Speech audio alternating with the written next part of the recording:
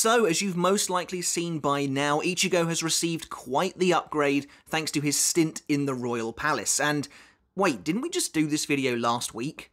Oh, wait, that was about Renji and Rukia.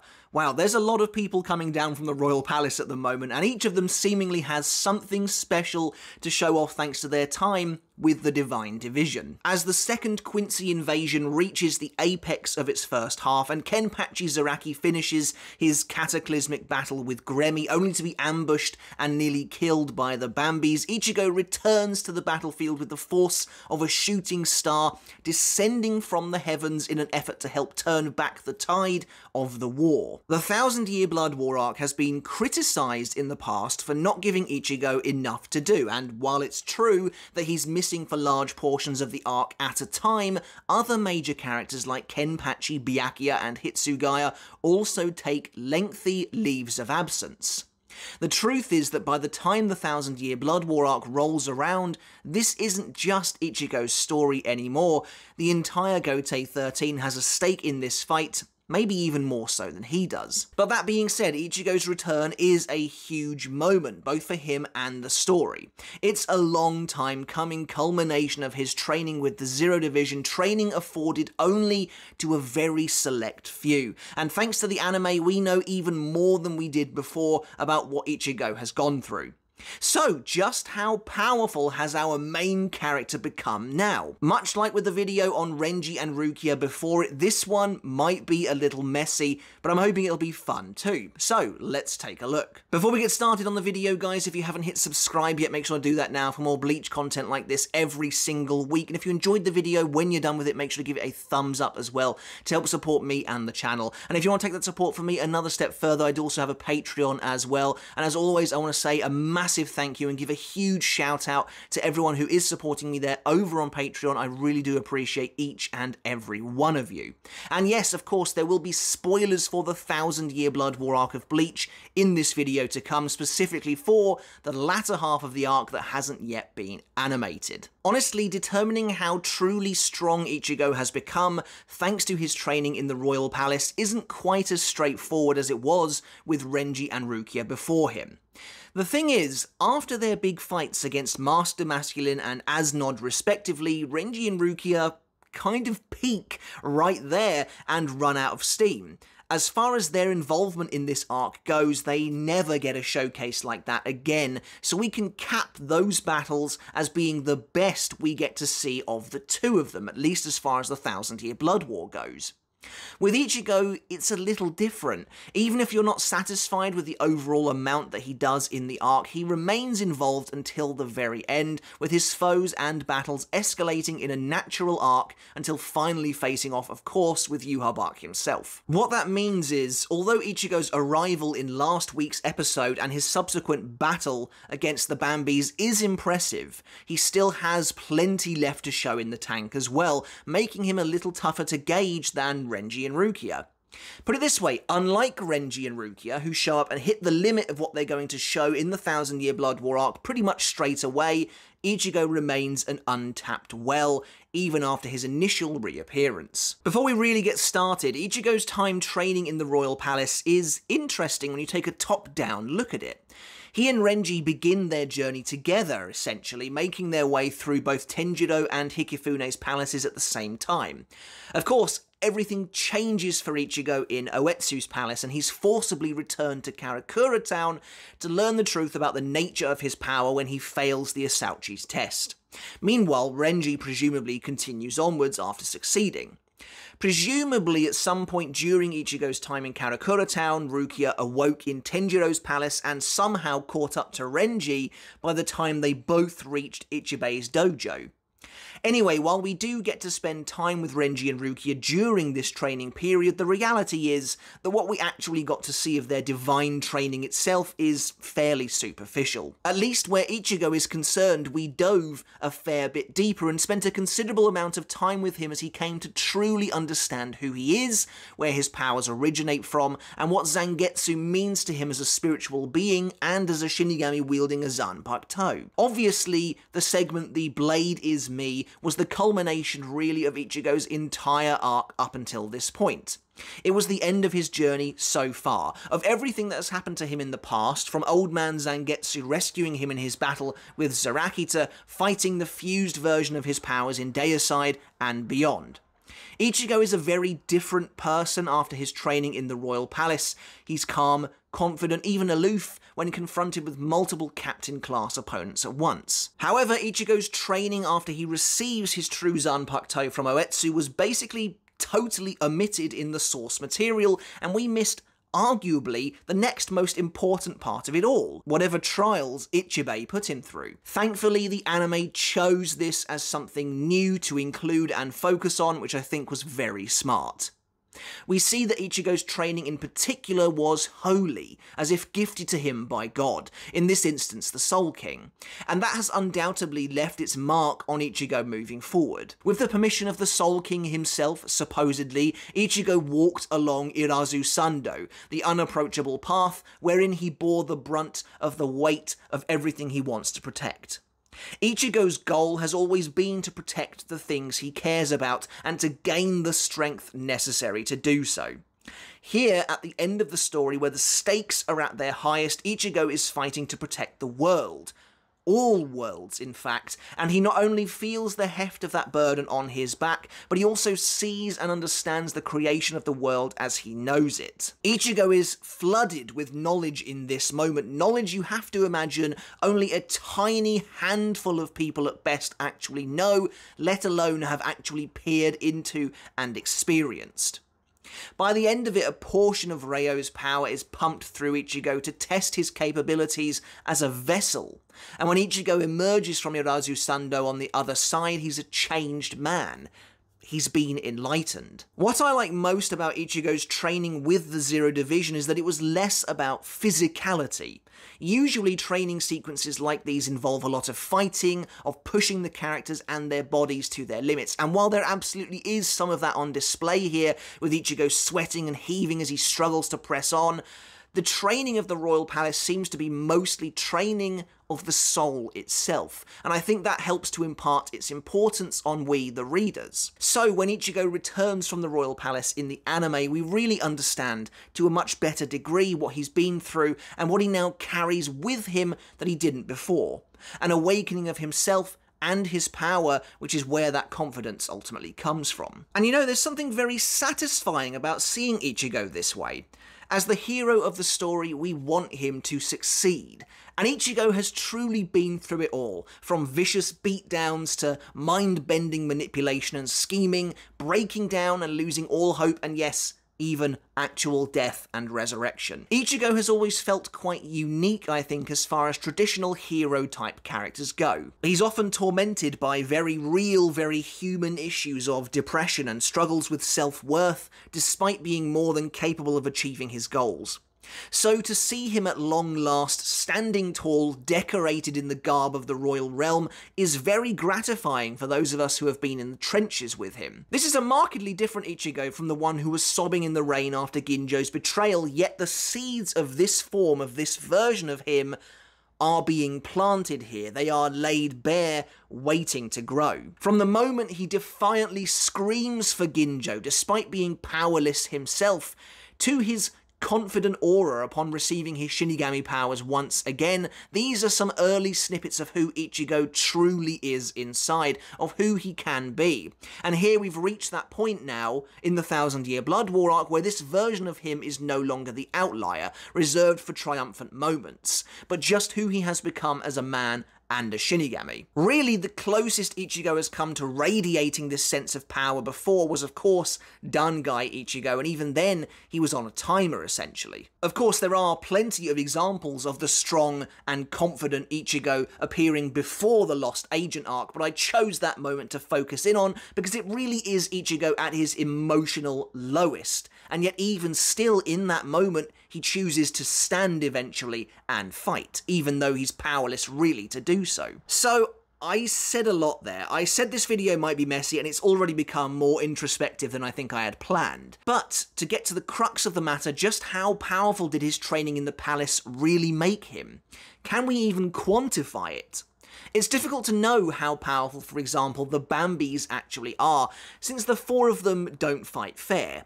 And I'm not going to hold that against them, I gave them their dues in this regard before. It makes total sense for them to ambush Kenpachi and not give him a chance to fight back, but it does make it slightly trickier to work out how strong they really are when they're not busy massacring mooks. Even so, we know that every Sternritter is at least captain level, whatever that really means these days in terms of their Reiatsu, and later on Lil Toto and Meninas are the only two of a group of Sternritter to even remotely stand up to Here though, in a scene that mirrors Ichigo's effortless defeat of three vice captains in the Soul Society arc, he's now tossing around all four of these Sternritter like they're rag dolls, punching and slinging them into nearby buildings without so much as a care in the world. Before we get to any of that though, there's Ichigo's speed to discuss. Ichigo has always been very fast. Remember when incredible speed was supposedly Tensa Zangetsu's actual ability?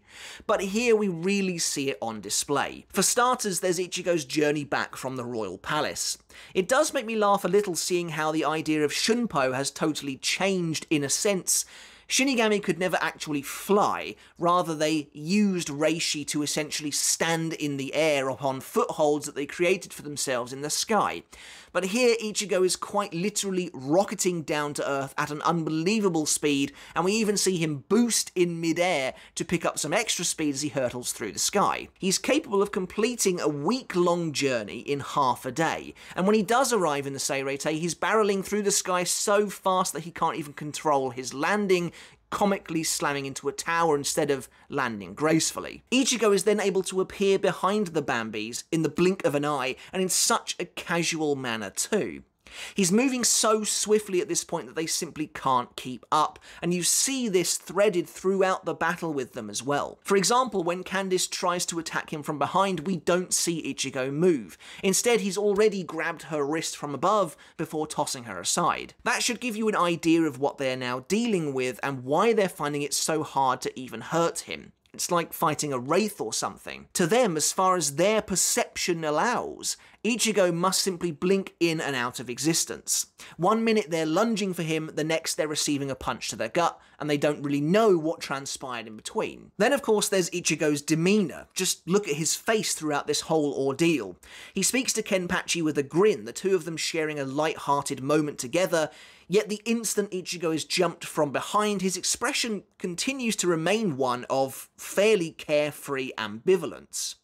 The only time he shows any kind of shock or surprise is when his cloak is snagged by Lil Toto's the Glutton, and even then it's played out for laughs, like Ichigo can't believe how weird this ability is that he's suddenly confronted with. The fact of the matter is, none of them even get remotely close to Ichigo throughout the entire showdown.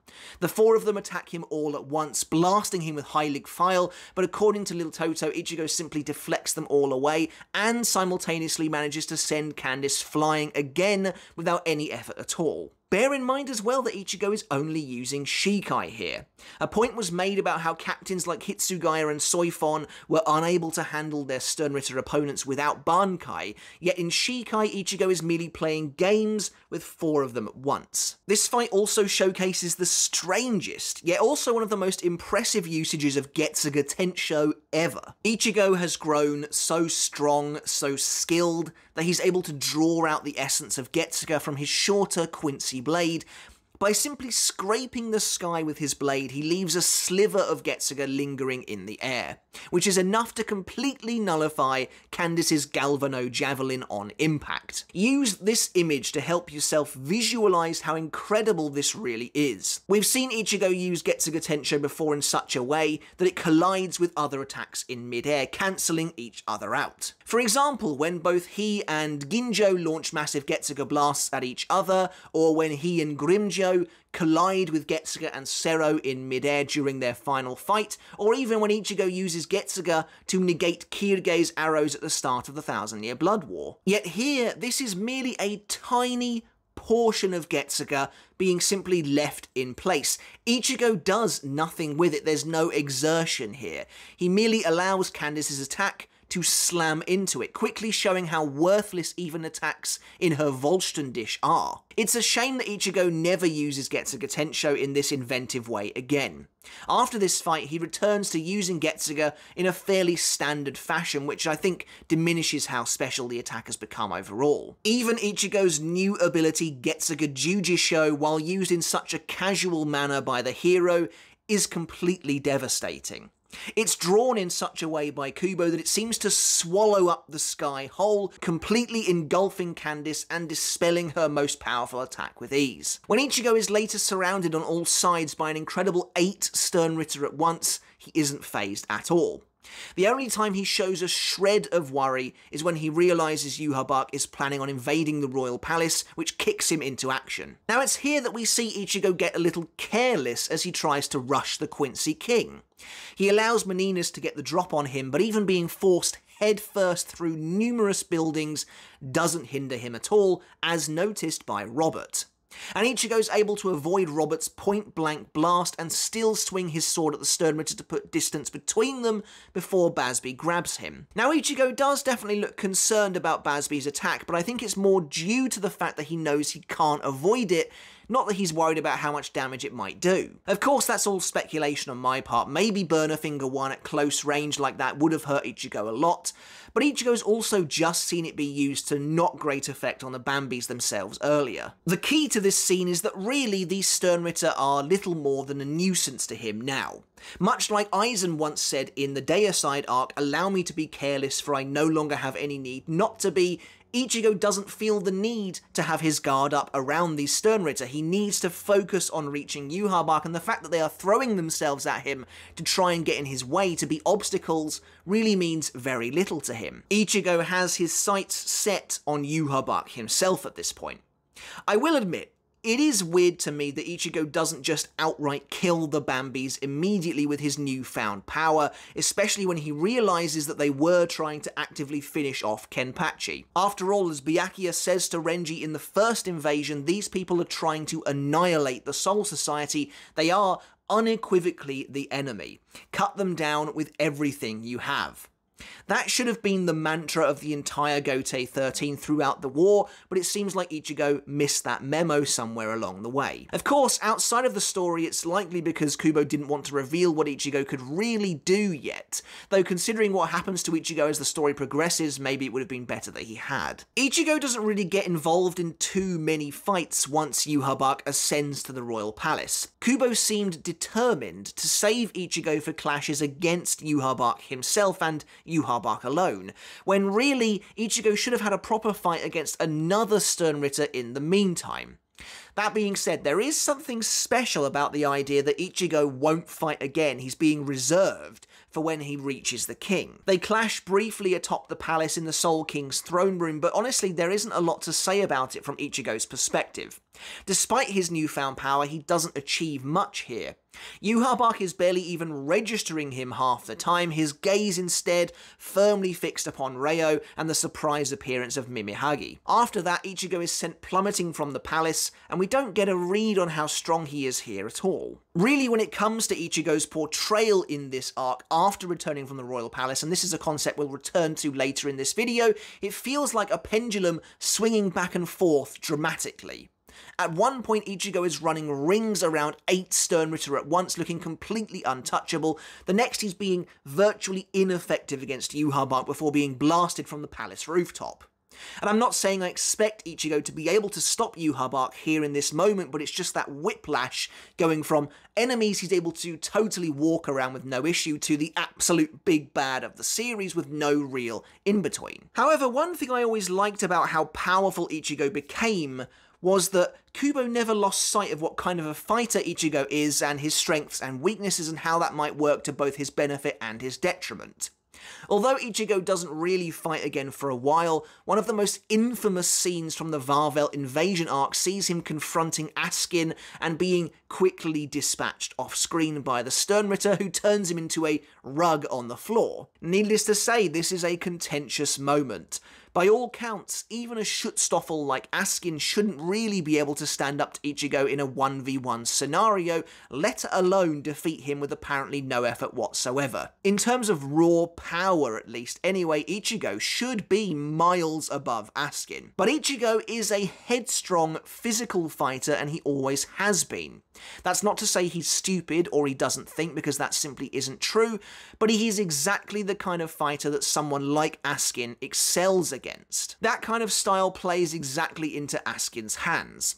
As a tricky fighter, Askin often lets his enemies defeat themselves rather than put in the work himself. And so this moment isn't in the story here to say that Ichigo is weak all of a sudden or that he's weaker than Askin, but to show that even this version of Ichigo, who's immensely strong, is still susceptible to a bad matchup at the end of the day, and I appreciate that. Maybe this scene could have been handled better. For example, I'd love for Ichigo and Askin to get a small extension to their confrontation in the anime that actually shows us what goes down.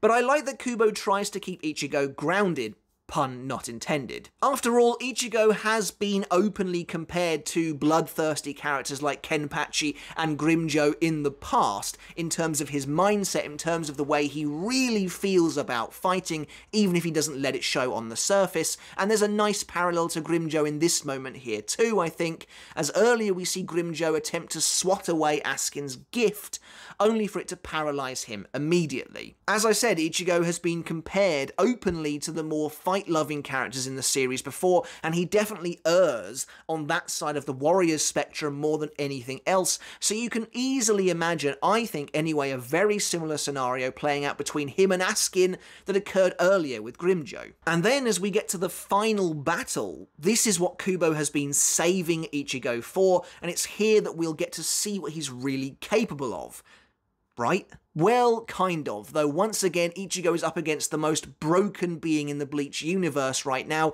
who has only attained even more power since the last time they fought. When Ichigo steps into Yhwach's throne room, the Quincy King mentions that Ichigo not drawing his sword should leave him vulnerable, except he isn't, as Yhwach can almost see Ichigo's overflowing spiritual pressure taking physical form. I've always kind of wondered about this moment, can Yhwach actually see that fiery image surrounding Ichigo, or is it more of a metaphor for our benefit for how Ichigo's Reiatsu has become so ferocious and overwhelming that it appears to be surrounding him on all sides. Much like, say, when Kenpachi removed his eye patch for the first time against Ichigo in battle. Of course, the crucial difference here is that Kenpachi didn't have any control over his power at all back then, and it just leaked out of him subconsciously, which is what used to happen to Ichigo. But here Ichigo has much greater control than he's ever had before. Since Ichigo doesn't actually seem to have this aura ebbing and flowing around him at all times, at least not that we see, although maybe Kubo's just drawing it like that so he doesn't have to make the panels very messy looking. Does he simply allow it to flare up for a moment as he prepares to take on Yhwach? It's possible, absolutely, that Ichigo's control over his Reiatsu has become so adept that he's able to do that.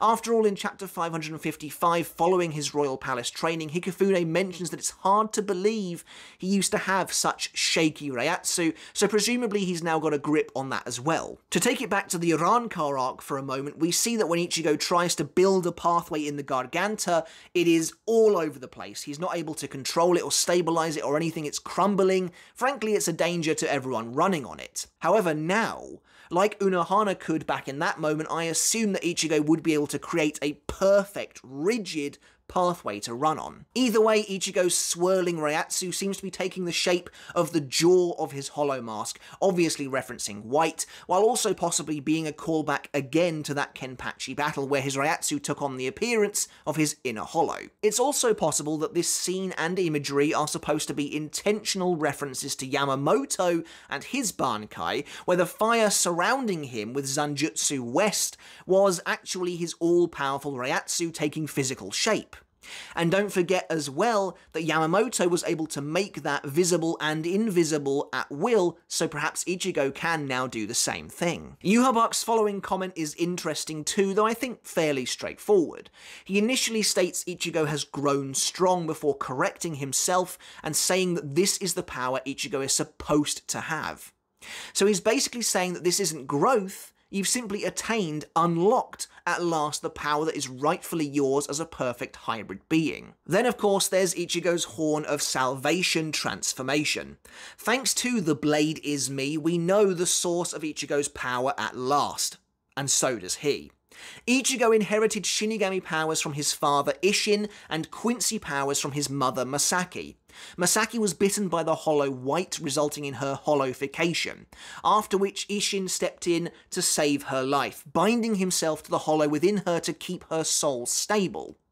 Over time, that binding resulted in the mixing of Ichigo's own Hollow and Shinigami powers, meaning the two are now one and the same. These two beings, Ichigo's Quincy powers and the fusion of his Shinigami and Hollow powers found equilibrium at long last when Ichigo finally learned the truth, and in that moment they were able to be forged into two separate blades. Ichigo notes that the equilibrium, the harmony, keeps Zangetsu in check.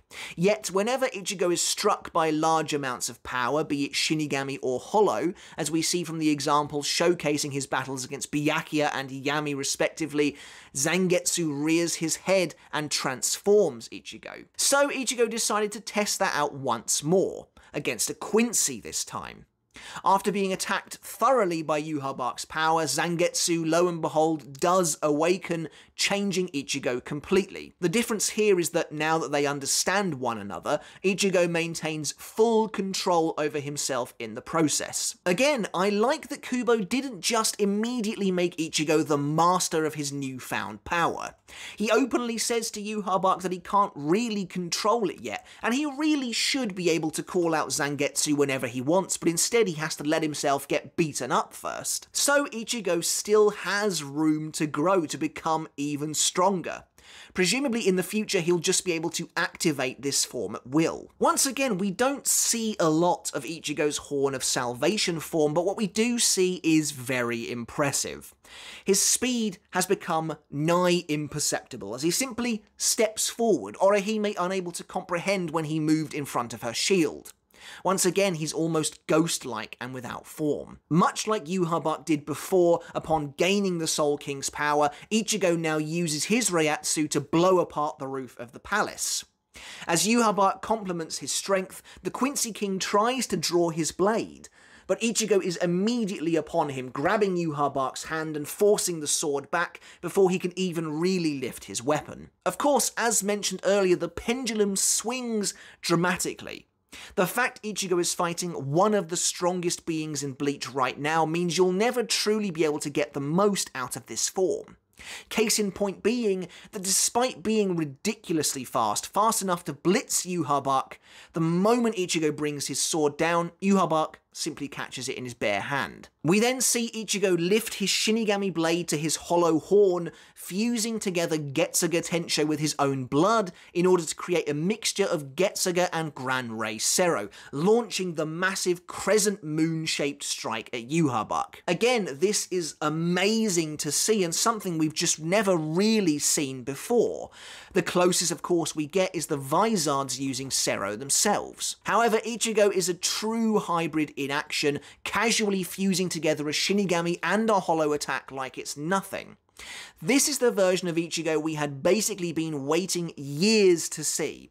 With almost total control over all aspects of his power, Ichigo can now do anything Everything is afforded to him, and it's amazing to see him finally, at long last, utilize a Cero of his own accord. But again, much like with his speed earlier, while this moment is incredible to behold initially, the pendulum swings once more, and Yhwach simply crushes the Getsuga Cero in his hand before turning the tables completely, nullifying everything about this form. In this sense, the Horn of Salvation form, named for the chapter it first appeared in, is absolutely one one thing I desperately want to see more of from Ichigo in the anime, as it's criminally underutilized in the source material. Speaking of criminally underutilized in the source material, as we reach the final point of this video, I feel like I maybe need to make a separate video entirely really to do it justice, but we need to look at Ichigo's Bankai his true Bankai. Another thing I like about Ichigo's portrayal in the second half of the final arc is that he waits until the most dire moment before he finally uses Bankai. It really does feel like an actual trump card. Now, I get it, again, Kubo wanted to save Ichigo's Bankai reveal for the very end, but narratively it works well too. Throughout the Arrancar arc, Ichigo was often criticised for devaluing his own Bankai. Ichigo activates his Bankai during his final fight with Grimmjow, then doesn't disengage it until the end of the Arrancar arc, once he's lost his Shinigami powers. That's a frankly absurd amount of time to have your Bankai activated, and Ichigo's character was lambasted for robbing the idea of Bankai of its weight. Here, though, in the Thousand Year Blood War arc, that feeling of gravity has once again returned, as Ichigo spends almost the entire half of the arc in Shikai, which not only feels more natural, it also organically builds up anticipation for when the Bankai itself will finally be revealed. And it also serves to show how strong Ichigo has become. Unlike the Arrancar arc, which in many ways had the opposite effect. Ichigo was being tossed around in his Bankai by basically everyone, as I said, devaluing it overall overall and making it appear weak or at the very least susceptible to absurd fluctuations. There's none of that in the Thousand Year Blood War arc. Instead, Ichigo is fending off captain level opponents by the masses in Shikai alone, all the while crucially feeling like he's holding something back. Not only is it very impressive, but it also makes for a great spectacle. But regarding Ichigo's true Bankai itself, this is easily the weirdest, wildest Bankai portrayal in the series. After successfully building to Ichigo's Bankai reveal, making it feel like an inevitability as he confronts the new Soul King Yhwach, who is now literally dripping with power, Kubo sprung one of the arc's craziest, most abrupt twists upon us. Having had his Horn of Salvation form defeated now that Yhwach has activated the Almighty, Ichigo prepares to overcome both fate and despair once again upon at last activating Bankai. We briefly see the new Tensa Zangetsu before it's instantly destroyed. No, in fact, it was already snapped in two even before it materialised. I'm honestly fascinated to see how they handled this in the anime, all the way in Cour 4, presumably, but nonetheless, this was a truly shocking moment. Certainly a Bankai reveal like no other. Using the almighty Yhwach broke Tensa Zangetsu in the future before Ichigo could even use it. While this twist in itself is worth talking about, what's more important here is the why. Why did Yhwach snap Ichigo's Bankai in two? If Yhwach was so secure in his absolute power, power which, by the way, has been referenced numerous times, from his ability to just detonate the ceiling of the Soul King's throne room, to Kyoraku commenting on Yhwach having such immense power that he's capable of restructuring the royal palace itself, then why did he feel the need to kneecap Ichigo just as he was getting going? The answer is simple. Even with the Almighty and the power of the Soul King, Yhwach feared Tensa Zangetsu. He basically says as much himself when he compliments Ichigo on how dangerous his Bankai is. So dangerous, in fact, that he could not allow it to be. I wonder if Yhwach envisioned the future in which he was actually killed successfully by Ichigo, which is interesting to think about, the future that is the actual ending of Bleach, and by breaking his Bankai, Yhwach thought that the ending of Bleach wouldn't come to pass, but thanks to Tsukishima's help, it still does. Presumably, though, Yhwach couldn't see the actual moment of his death, since he no longer possessed the Almighty in that split second. It's difficult to say, but maybe he saw that battle and decided it wasn't worth the risk. Or perhaps he was inspired to act by the vision Haschwalth shared with him showing his death at Ichigo's hands. Though Yhwach himself mistakenly believed that to be merely a dream, so I think the implication is that he doesn't act on it. So while we don't get to see a lot from Ichigo's Bankai, sadly, this is a cool moment of showing and not telling, having Yhwach anticipate the destructive power of Ichigo's true Bankai to the point where he removed it entirely is a great way of telling the audience that Ichigo has something special here without getting the chance to show what it can do. And then of course there is the final battle itself. Again, Ichigo's true Bankai is barely used, but when it is, it really counts.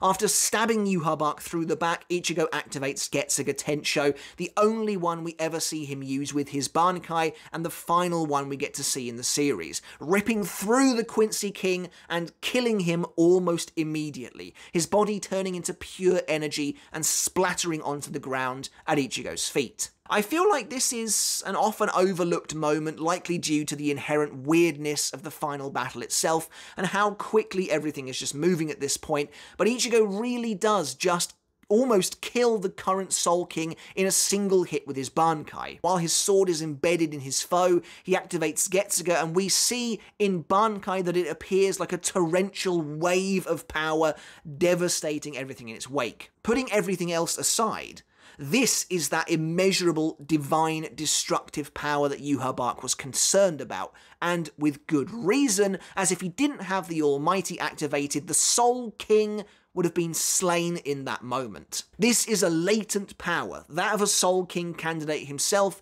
who bears the Reiatsu of all spiritual races on his back. Honestly, as with the Horn of Salvation before it, I wish we got to see more of Ichigo's true Bankai. This is one area that the anime has to expand on, hopefully substantially. Ultimately, the truth is that while Ichigo's growth arc is well portrayed in the Thousand Year Blood War, we don't get to see much in the way of the fruits of that arc. He needed, as I said, a strong middle of the arc showcase that was more than just a total, almost lazy beatdown of the Bambies to really help outline his current level.